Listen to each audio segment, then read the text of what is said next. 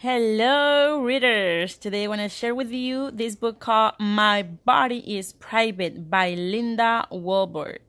This book is a hardcover. It's a small book. The pages are regular. The text is medium size, not too big, not too small.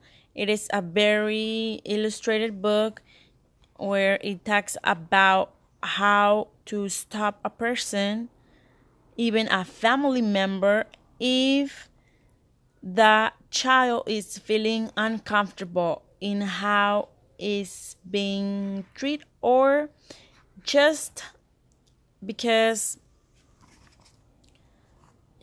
just because she is not in the mood of getting a hug or doesn't want to sit on the lap of somebody this book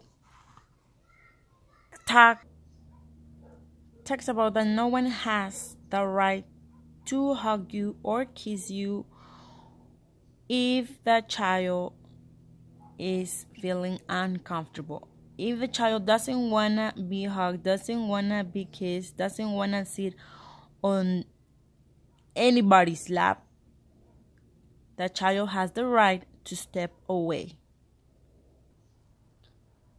This book is a story about this girl and the family member that goes to her house. And the uncle is asking the girl to sit on his lap. Obviously her face tells everything she doesn't want to. And she learns how to say no thank you. And she steps away. This book at the end has a note for parents.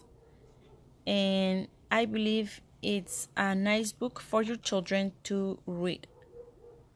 It's um medium sized text is the text is not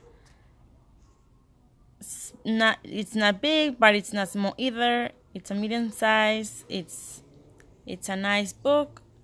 Go to your library, look for it, read it. If you like it, if you loved it, buy it for your children so they can read one and one time, two times, three times, over and over again. They can highlight, they can write on it. Maybe they can even write their feelings, how they're feeling with a specific person.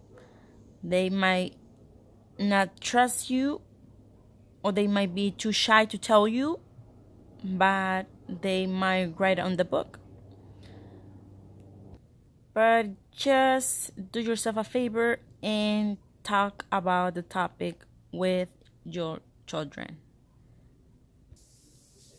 And remember, treat your children with as much respect that when they are treated other way, they can, they can spot it right away.